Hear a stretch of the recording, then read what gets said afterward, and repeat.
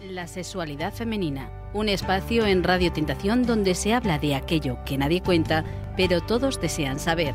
Te esperamos de martes a sábado a la 1 y 40 de la madrugada en la sintonía de Radio Tentación. Bienvenidos y bienvenidas. Estamos ya en la recta final de la semana aunque para algunos no se escucharán en otros momentos. Esto es la sexualidad femenina, eso sí, ahí no hay pérdida. Y con ustedes les acompañan dos psicoanalistas del Grupo Cero. Laura López, desde Málaga. Hola, Laura. Hola, ¿qué tal? Y Elena Trujillo, desde allí de Madrid, ¿no? Eh, desde aquí de, Madrid, sí. Nos hemos dividido las áreas territoriales para que esté cubierta toda España y, parte del extranjero, porque sabemos que de México tenemos ahí una comunidad que nos sigue muy importante y a ver si van aumentando la de otros países, que se manifiesten, que se manifiesten. que los hay, que los hay muchos. claro, que nos escriban a nuestro correo electrónico, la sexualidad femenina radio arroba gmail.com, que dejen su comentario en el canal, que se suscriban, que se hagan, se manifiesten, se hagan ver. Y hoy tengo tengo, Laura, voy a estropearos el día, ¿eh? O no, o no. En realidad les voy a poner una, un aderezo especial. Porque hoy quiero que hablemos, pero, pero bien, de, de una cosa que hay un montón de gente. claro.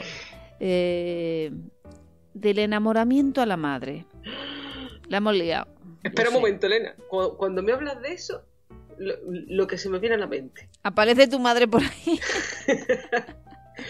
Mira, se me viene a la mente como te vienen en las películas, la descripción del típico con las gafitas, con los pantalones hasta arriba, la típica también con el pelo, el vestido que le compra la madre, que se ve como muy exagerado, todo muy pegado a la madre, que no puede tener relaciones con otros chicos o chicas porque está permanentemente cuidando a su mamá, la mamá le dice lo que tiene que hacer, ¿no? Y, y claro, cuando dices esa frase es lo que se nos viene a la mente. Pero claro, sabemos que tampoco que eso es una exageración, ¿no? Porque en realidad eso es una, es una imagen. Claro. Pero no es una imagen poética.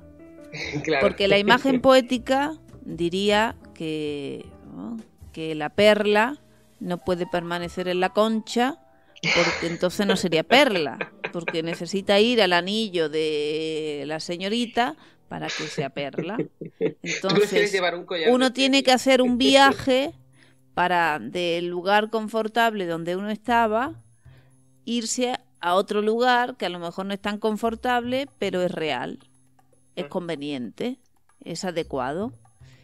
Y claro, ahí usted dice, ah, Elena, por fin vais a hablar de esto porque es que mi marido está enamorado de su madre.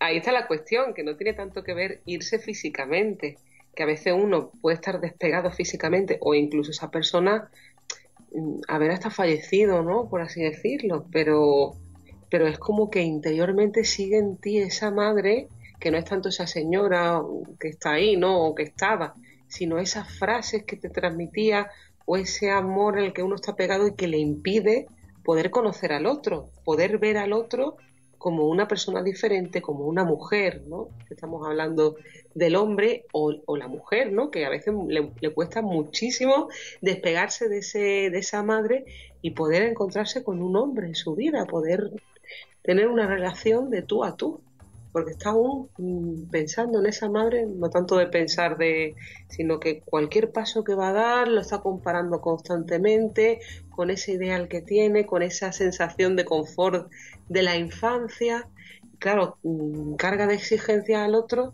y es difícil competir con el ideal de esa madre, que en realidad no es esa madre, sino lo que uno eh, le atribuía en, en, ese momento del crecimiento, ¿no? que no tiene nada que ver con lo real, claro y es chungo. Sí, mucho, es mucho. Chungo, digo, porque estamos aquí hablando y parece una cosa así extraña, pero... No, Elena, no es tan eh, extraño porque, confiesa, Elena, a que en las terapias de pareja viene mucha gente eh, protestando de su familia del otro, de la mamá del uno, de la mamá del otro, y hay siempre una lucha, como el anuncio este que anunciaban con las croquetas, que uno decía, ¿quién hace mejor las croquetas? ¿Tu madre o la mía? ¿No? La mía la hace mejor, la mía mejor, ¿no? Que es como un poco así. Esa lucha de, mamás, ¿no? Cuando en realidad no producen la relación, está en tu madre y el otro en la suya. Y ahí, pues claro, es imposible ponerse de acuerdo. Además, estaba hablando de la madre, pues claro, para un adulto. La, madre toca la fibra. ¿eh? Pero bueno, que estamos, estamos ahí para, para ayudaros a aprender a amar a alguien además de a tu mamá. Porque sobre todo hay que decir que no es esa mamá que tienes en tu en, donde tú vivías antes o ese que tienes ahí en casa, no es esa mamá, es ese ideal que uno tiene de una madre que le satisfacía todo o no, porque también está ese amor y odio hacia esa figura, esa insatisfacción donde uno va hablando pestes de su madre durante toda la vida. Y lo que les ah, venía a decir... Qué pasión, ¿eh? Con la madre. Claro, lo que les venía a decir... Una pasión. Laura, no me dejas hablar, es terrible. Perdona, perdona. Esto, de, esto, de la esto del amor a la madre te tiene su, su yuga. claro, es que es que eso pone pasión, como dice Laura, es que imprime pasión porque lo vemos en el día a día, en la mayoría de las personas, pero hay quien lo lleva con sufrimiento, sufrimiento que no se sufre porque diga, ay, que amo a mi mamá, no, sufrimiento porque no te llevas bien con ella, porque no te llevas bien con otras personas, porque tienes problemas con tu marido, porque tienes no sé qué, porque tienes... y tienes como una cantinela diaria de sufrimiento que no es la vida que real, que es la vida que está proyectando tu, tu, incapacidad de poder despegarte de ese punto de seguridad, de ese punto infantil que fue válido antes, pero que ahora tú ya eres un adulto, una mujer o un hombre que tienen que estar con los ojos bien abiertos, macho, macha que no te enteras de nada. Bueno, mm, has hablado antes de, los problemas de pareja, las discusiones, ¿no? Me ha parecido entender algo de eso. Y claro, muchas de esas discusiones... Lo has dicho tú en realidad, ¿eh? Sí, lo he dicho yo, lo quería decir. Yo te quería interrumpir.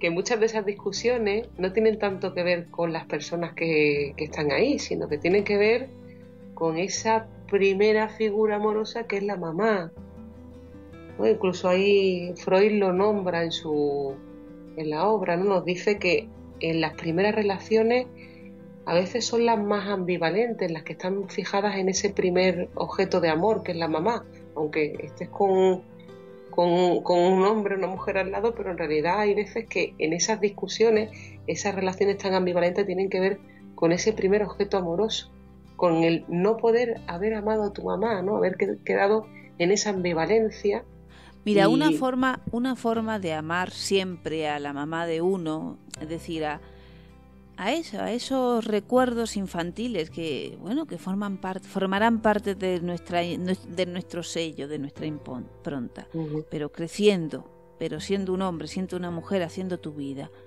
Cuando un hombre es mujer, es cuando ama. Y es a título de hombre que desea. Y ya ha alcanzado un grado de imposibilidad posible. Podemos decir que el sujeto psíquico es como un hombre que desea y como una mujer que ama. Recuerdan que les dije al principio, los hombres también estarán interesados por este programa, porque en los hombres también hay una mujer. Y ese es el secreto del éxito. saber también cuándo, cuándo dejar salir esa mujer que hay en uno que es diferente a feminizarse, a transmutarse, a transvestirse, porque ahí en ese dejar su lado femenino es cuando ama. Entonces, claro, un hombre que puede amar y que puede desear es un hombre de éxito en la vida. Y lo mismo hay que decir de la mujer. Cuando la mujer deja que su parte femenina tenga también ese lugar para el amor, y pueda desplegar su parte masculina sin someterse a ese amor, a ese hombre que, que está fuera, que cuando pueda también construir ese lugar masculino, ahí se gana una mujer. Complejo, ¿eh? Complejo de Edipo. claro, construir el lado femenino. Que sí, que la primera mujer que uno conoció dejó su impronta en ti. Pero, cada una de las mujeres de la vida que te vas a encontrar son reales, posibles, mm. están ahí y son mucho más interesantes que esa primera mujer que ya no está. Que ya no está. Más vale teta en la mm. mano que siento volando. no es teta en la, en la boca o teta en la boca no cabe en la sopa, no se No, no, en la mano, en la mano, Laura. Las tetas los adultos se tienen en las manos. Así se tocan y se ponen en su sitio. Y, y claro, no de la mamá. La mamá, la teta de mamá es de papá o de los hombres que ella quiera. Tú no puedes ser su hombre, ni su mujer. ¿Por qué? Porque el mundo está ahí, te espera. Y ahí están los caminos, tres mujeres y un camino. no, Laura, tres mujeres y tres caminos. que no te confunda. déjame ya. Mamá, déjame. no, que, que me he acordado porque estabas comentando lo de lo de lo, de, lo femenino en el hombre, ¿no? Pero eh, tiene que ver con la diferencia sexual, ¿no? El, momento en el que mm, ahí incluyes eh, la diferencia de que tu madre no es esa totipotente, no sé qué, sino que la tuya. la diferencia y, y, te puedes permitir desviarlo a otras mujeres cuando incluyes esa diferencia sexual, claro. Cuando te das cuenta de eso, y eso también es incluir lo femenino, ¿Cuándo te has dado cuenta? Trae la diferencia. ¿Cuándo te has dado cuenta? Oh, mejor no te lo digo, Elena. Eso es algo... ¿Cuánto has estudiado? Uf, un montón. Lo que dice darse cuenta, psicoanalizarse de darse cuenta. ¿Qué va? No, claro. No, pero no es darte cuenta de tu pensar y tener conciencia de, sino que te, te transformas sin darte cuenta, sin darte cuenta en el sentido que no algo como quien se apunta a conducir. Yo que sé que en el momento que he empezado, sé que cuando he hecho un proceso me he transformado y sé hacerlo sin darme cuenta, que es inconsciente. Pues esto igual, no es que yo lo piense y diga, luego te voy a decir una fecha un día, no sé, me he dado cuenta porque en la vida uno ya va haciendo de otra manera, va transformando sus relaciones, su manera de hacer, de trabajar, ahí es donde te das cuenta, porque te has transformado en el proceso. Es como si, como si Laura le dijera que ella se ha dado cuenta de que le gusta ser profesora. Ella qué va a saber, ella no sabe nada. ¿Será que sí no? que eres la profesora Girafales. ¿Lo dices por mis gafas antirreflejo? Sí, por la gafa solamente. Si hablara de la tiza que tienes. Vamos, que me he dado cuenta que alumnos puedo tener más que hijos. Entonces dije, es muy ¿eh? práctico, es muy práctico. ¿Qué mamá? En México vamos a tener una delegación de, hijos criados con letras eh, del grupo cero. Pero tú eres de las mamás que dejan crecer, ¿no? Sí, a ti también te voy a dejar crecer y te voy a dejar que vayas con papá. Yo también te voy a dejar que crezca, Elena. Porque la heterosexualidad es el camino de las diferencias. Entonces es un camino que conviene transitar. Por supuesto. No se puede estar siempre con mamá. Alguna vez hay que equivocarse. Yo sé que como yo no hay ninguna. ¡Ah! ¡Qué barbaridad! Pero eso no quiere decir que yo te convenga. Yo no te convengo. Menos mal que ya me di cuenta de eso hace tiempo. Por eso me tiene que pagar a fin de mes, ya sabes. Míreselo en mi cuenta 32333. Ah, ese no es el teléfono. No, pero vamos a darles un correo electrónico. ¿Por qué? Porque esta es una oportunidad para ustedes de estar en un espacio donde se puede hablar. Así que escriban a la sexualidad femenina radio gmail.com, que es un programa, un espacio para mujeres, para hombres y para dudosos, que es un lugar donde se trabaja para la salud y donde le vamos a ayudar a orientarles en su próximo movimiento, es decir, de cómo pueden luego eh, llamar al psicoanalista para comenzar vuestro proceso. Muchísimas gracias, Laura López. Gracias, Elena Atravesando, atravesando las ondas. Uh. Seguiremos atravesando. Seguiremos gracias a gracias a Clemence Lunis que está ahí trabajando para nuestra televisión, Grupo Cero Televisión y nuestros proyectos audiovisuales. Gracias a todos y a los maestros que como madres nos abren las puertas del mundo para que estudiemos y aprendamos y crezcamos. Nos encontramos el próximo día aquí en la sexualidad femenina y gracias por compartir y por acompañarnos. Hasta el próximo día. Beso. La sexualidad femenina, un espacio en Radio Tentación donde se habla de aquello que nadie cuenta, pero todos desean saber. Te esperamos de martes a sábado a la 1 y 40 de la madrugada en la sintonía de Radio Tentación.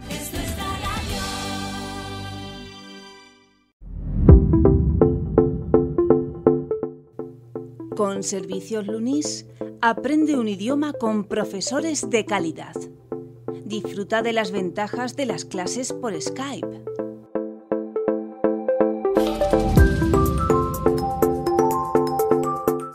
¿Por qué elegir una buena profesora? Porque una buena profesora transmite y eso facilita el aprendizaje. Ahorras dinero y ganas tiempo. Aprende bien y rápido. Los dos meses que llevo en estas clases me ha ayudado muchísimo. Te motiva a que estudies en cada clase para que no te quedes atrás. Los diálogos, los debates creados en clase, las correcciones escritas, la flexibilidad de horarios. Estas clases son únicas, especiales y con un toque de incertidumbre. Te mantiene siempre ese, ese grado de ilusión, de deseo por aprender. Y bueno, con algo de optimismo por, por aprender cada día un, un nuevo reto. Os la recomiendo. Y realmente la recomiendo al 100%. Cuando un profesor está formado para transmitir, facilita, agiliza y motiva el aprendizaje. Cuidar la formación del profesor es cuidarte a ti.